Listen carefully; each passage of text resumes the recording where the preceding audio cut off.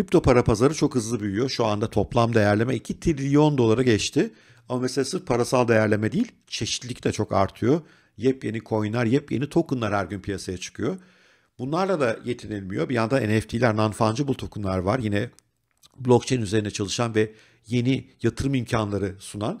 Bir yandan da bu Metaverse ile beraber dijital evrenlerde arsalar alanlar, evler alanlar, buna yatırım yapanlar var. Yani ortalık karışık. Bir yandan çok fırsat var.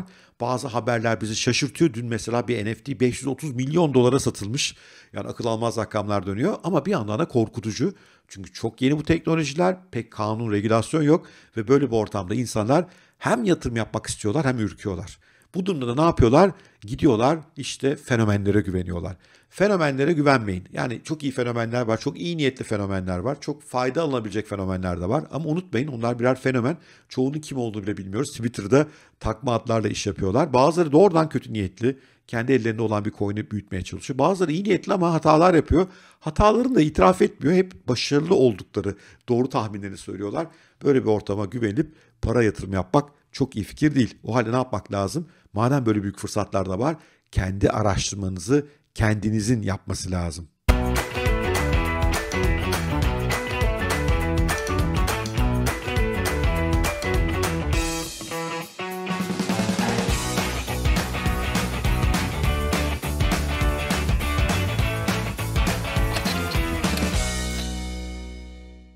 Bugün 1 Kasım 2021 ben Bora Özken 284. podcast'ımla beraberiz. Bugün kripto dünyasına nasıl yatırım yapılır? Daha doğrusu yatırım öncesi araştırma nasıl yapılır? Bu konuyu ele almaya çalışacağım. Binlerce kripto para var. Binlerce milyonlarca NFT var. Metaverse evreninde bir sürü olasılık var, yatırım olanağı var. Hangisi seçeceğiz, neye göre seçeceğiz? Bugün biraz coinlere odaklanacağım ve kendi yöntemimi size anlatmaya çalışacağım. Ben muhafazakar bir yatırımcıyım bu anlamda. Bitcoin'i seviyorum, Ethereum'um var. Bu işte Metaverse meselesine Mana ile çok önce giriş yaptım. Hani böyle 50 çeşit coin'i olan her gün size bir takım ipuçları verenler var ya fenomenler şu yükselecek bu artacak diyebilecek bir insan değilim. Ama benim kendime göre bir metodum var ve bu metot bence uzun vadeli yatırım yapmak isteyen ve insanlara başkalarına fenomenlere falan kontrolü bırakmayıp kontrolünü kendi elinde tutmak, kendi araştırmasına güvenmek isteyen insanlar için doğru bir metot. Benim çok işime yarıyor. Bugün biraz bunu anlatmaya çalışacağım. Ben bir coin seçmeden önce, yatırım yapmadan önce bir kere o coin'in çözmeye çalıştığı problemi iyi anlamaya çalışıyorum. Bu için de gidip mutlaka onun white paper denen makalesini okuyorum. İngilizce bilmiyorsanız burada çok zorlanabilirsiniz. İyi bir çeviri yapabilecek bir arkadaştan ayarlanmanız lazım. Google e, çeviri bu konuda fena sonuç üretmiyor. Ama özellikle konu teknikleştikçe ve yeni kavramlar içine girdikçe orada tam sonuç alınamıyor. Bir kere ilk adım bu. O yüzden İngilizceyi biliyor olmanız lazım. Ya da İngilizce bilen birisinden destek alacaksınız ve o coin'in hangi problemi nasıl çözmeye çalıştığını anlayacaksınız. Ama aslında çoğu zaman benim ondan bir önceki adımım o coin'in içine girmeye çalıştığı ekosistemi anlamaya çalışıyorum. Mesela Metaverse'ü işte beni takip edenler biliyorlar. Daha hiç insanlar bunları konuşmazken ben araştırıyordum, inceliyordum. NFT'lerle ilgili çoğu insan bir şey paylaşmadan ben araştırmalarımı yapıyordum. Önce o evreni anlamaya çalışıyorum. NFT dünyası ne, Metaverse ne vesaire gibi.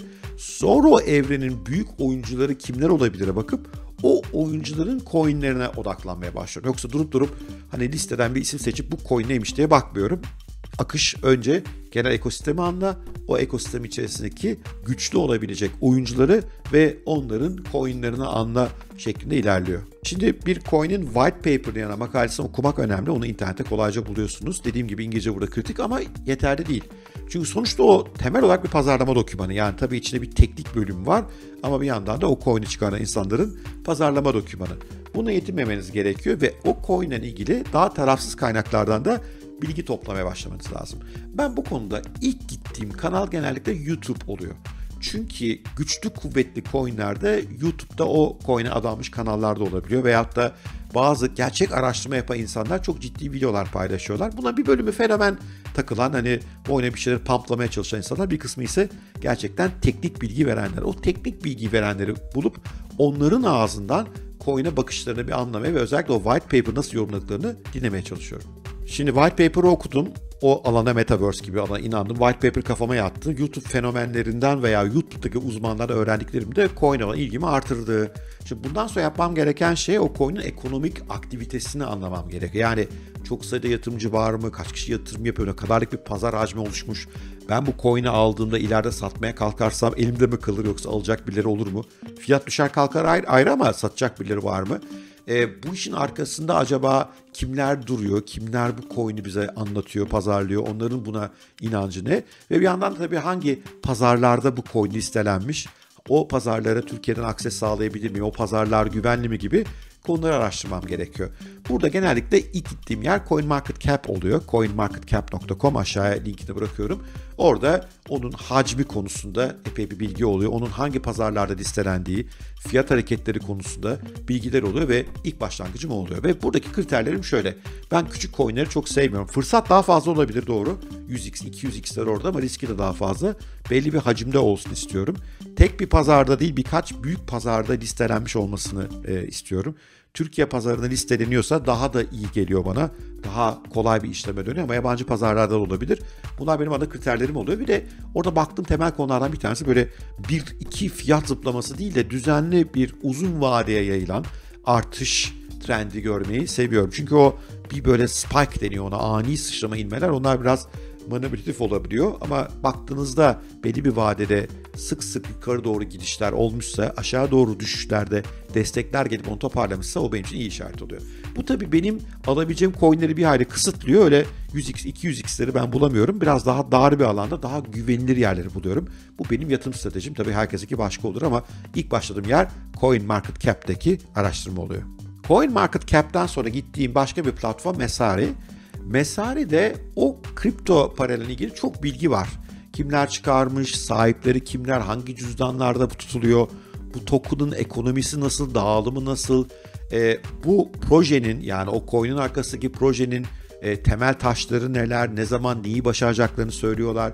E, CEO'su kim, onu kuran şirketin CEO'su kim, daha evvel neler yapmış gibi pek çok bilgiyi Mesari'de alabiliyorum. Ve Mesari bana o coin'in genel yapısı hakkında ciddi bir bilgi veriyor. Mesari'den bir sonra gittiğim yer Binance oluyor. Binance'in araştırma raporları güzel. Yani Binance'e bir yatırım platformu olarak güvenip güvenmemek ayrı konu olabilir ama Binance Research diye bir bölüm var onu seviyorum. Ve orada o kripto para hakkında epey detaylı bilgi verilebiliyor. E, hatta bazı tahminlerde coin'in geçmiş fiyat hareketleri nelerdi, işte destek noktaları nerede gibi teknik analizi de orada bir miktar yapabiliyorum. O yüzden Binance Research yararlandım bir diğer araştırma platformu. E, bir kavram var belki duyanlar vardır. Internet Archive Wayback Machine diye. Yani bir şirketin web sitesinde geçmişte olanları da görebildiğiniz bir platformu temelde öyle düşünmeniz lazım. Bu konuda da iSot diye I-C-O-D yine aşağı linkini bırakıyorum. ISODrop diye bir platform var. Ondan çok yararlanıyorum. Orada çünkü şunu görebiliyorsunuz. Mesela bir coin bu. O coin'in sayfasında şu andaki bilgiler var. İnternette onu görüyorsunuz ama geçmişte neler vardı onu burada bulabiliyorsunuz. O zaman da bu coin'i çıkaran insanlar sözlerinde durmuşlar mı? Geçmişte söyledikleriyle bugünküler çelişkili mi? Geçmişte verdikleri bazı sözler ortadan kalkı vermiş mi yoksa tutarlı bir gelişim var mı gibi bilgileri alabiliyorsunuz. Burası bana o coin hakkında güven duymamı, o coin'i çıkaran insanlar hakkında biraz daha güven duymamı sağlıyor. Bütün bunları bitirince Twitter'a gidiyorum. Bu sefer Twitter'da bu token hakkında uzun zamandır yazan çizen insanlara bakıyorum. Genellikle o insanların başka yatırımlarla o ilişkisini de inceliyorum. Acaba oralardaki tahminleri nasıl yürümüş? Orada gerçekçi davranmışlar mı? Mesela çok kötü sert düşme dönemlerinden önce neler yazmışlar onu bulmaya çalışıyorum. E, çünkü hani sadece böyle bir pamplayıcı mı yoksa gerçekleri gören düşüşte de öngören insanlar mı? Ve oradan kendime bu token hakkındaki fikirleri değerli insanları buluyorum. Bu değerli insanların yorumlarını da orada okuyup ve zaman içerisinde gelişimlerine bakıp karşımdaki coin'in e, gücü, performansı, güvenilirliği ve arkasındaki takım hakkında ciddi bir fikir edinmiş oluyorum. Bütün bunlardan sonra Reddit'ten de bazen ayarlanıyorum. Çünkü Reddit'te belli coinler konusunda ciddi tartışma odaları olabiliyor ve orada başka hiçbir yerde bulamayacağım detaylara rastlıyorum. Ben bunu aslında kriptoda değil mesela Tesla yatırımında da çok uzun süre kullandım. Orada çünkü normal genel basında, sosyal medyada bile göremeyeceğiniz detaylı tartışmalar dönüyor. İyisiyle kötüsüyle yani hem ayıların hem boğaların görüşüne bakıyorum orada.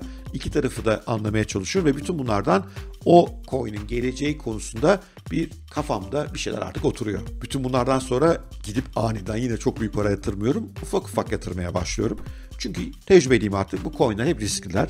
Toplamda genel pazar çöküşleri olabiliyor. Coinler bazında çöküşler olabiliyor. O yüzden herhangi bir noktada aniden büyük alım yaparsanız başınızın derde girme ihtimali yok. O coin'e ayıracağım toplam paraya karar veriyorum ve sabırlı bir şekilde belli bir zamana yayıp o zaman içerisinde fiyat çok yükseldi, ay kaçırdım veya fiyat çok düştü, niye ben elimde kaldı bunlar dememek için bir ortalama avaraj tutturacak şekilde zamana yayılan bir yatırım planı geliştiriyorum. Bitcoin'de bu ne olursa olsun her cuma yatırmaya devam et gibi bir stratejim var ama diğer coinlerde daha zaman sınırlı oluyor. 3-5 ay, 6 aylık bir zaman dilimi koyuyorum. Haftalara veya aylara yayılıyorum ve düzenli almaya devam ediyorum. Piyasada olsa da 100x'ler, 200x'ler oluyor, düşmeler, kalkmalar oluyor. Onlar pek ilgilenmiyorum çünkü daha belki araştırmalarım hep beni bu coin'i bir uzun vadeli görmeme teşvik eden araştırmalar. Bu uzun vadede buna inanıyorsam o zaman yatırımı yapıyorum. Sonra da beklemeye geçiyorum. Sakin olmak burada çok önemli. Çok sert hareketler olabiliyor. Eğer bu coin'in çözeceği ana problem kafanıza yatmışsa, coin ekibi, onu çıkaran ekip kafanıza yatmışsa, projenin almakta olduğu yolu yakından takip edebiliyorsanız ve almakta olduğu yol da iyi geliyorsa, proje verdiği sözler duruyorsa o zaman yatırımı orada tutuyorum. Piyasa dalgalanmalarından neredeyse hiç etkilenmiyorum. Uzun vadede baktığım zaman onlara pek kafa yormamak gerekiyor. Tabi öyle bitcoin %50 düşünce biliyorsunuz hepsi de düşüyor. O zaman moralim bozuluyor mu? Bozuluyor ama hep şunu gördüm. Coin sağlam bir coin ise o geri dönüşte de en hızlı o geri dönebiliyor. Evet benim yatırım yolculuğum bu coinlere işte bazı e, araçları da size anlatmaya çalıştım. Altta linklerini de vereceğim. Tabi bu vakit alan bir iş ama yani bir şey para yatırıyorsanız ona da vakit ayırmanız lazım öyle değil mi? Ve ben öyle başka bir fenomeni söylediği değil kendi yolumu çizmek isterim. Fena sonuçlar da almadım. Hep iyi gittiğini söyleyemem. Çünkü e, bir bütün bu araştırmaların dışında bir de makroekonomik faktörler oluyor. İşte e, siyasi faktörler oluyor. Çin yasakladım diyor vesaire. Oralarda sert dalgalanmalar oluyor ve zaman zaman gol yenebiliyor. Veyahut da o coin düşündüğüm gibi gelişmeyebiliyor. E, veyahut da mesela Holochain'e çok soğuk bakıyordum. E, sonradan çok iyi gitti. Niye? Çünkü ekip beklediğimden daha iyi performans çizdi. Yani ben de yanılıyorum ama en azından kaderim kendi elimde. Size de kendi kaderinizi kendi elinize almanızı çok şiddete tavsiye ederim. Ben haddinizi aşmak istiyorsanız mutlaka yatırım yapmanız gerektiğini düşünüyorum ve bu tip kripto paralar gibi bunlar asimetrik getirisi olabilecek şeyler. Yani aldığınız riske göre getiri çok yüksek olabilecek şeyler bunlar. Bu tip alanlarda da mutlaka yatırım olsun istiyorum. Ana olarak Bitcoin'deyim ama diğer daha küçük coinlerde de yatırımlarım var ve zaman zaman bunlarda gelen yükselişlerden çok mutlu oluyorum açıkçası. Ama dediğim gibi bunların riski olduğu için e, yönetmek çok özen gösteren bir şey. O yüzden sadece bu araştırmaya getirmiyorum. Günlük olarak da bir hareketlerine bakıyorum ve çok sert beklediğimin dışında o coin'e özel bir davranış varsa onu da anlamaya çalışıyorum. Çünkü bazen de bir coin üzerine çok manipülasyon yapılabiliyor. Çok manipülasyon yapılabilen küçük coinlerden bu nedenle genelde uzak duruyorum. Evet, bugünkü podcast'ta bu kadar. Umarım hoşunuza gitmiştir. Haddinizi aşmak istiyorsanız yatırım yapmalısınız. Mutlaka paranızı iyi değerlendirmelisiniz. Ancak öyle daha büyük şeyler yapmak için kendinize bir rampa elde etmiş oluyorsunuz. O yüzden bugün bunun üzerine durmak istedim. Umarım hoşunuza gitmiştir. Hoşunuza gitmişse bir like, bir yorum süper olur. Bir de haddiniaş.net'e lütfen gelin. Orada yazılı paylaşımlarımız da oluyor. Onları da kaçırmayın. Orada bir ücretsiz e-bülten var. Ona da mutlaka abone olun. Görüşmek üzere. Sevgiyle kalın. Hoşçakalın.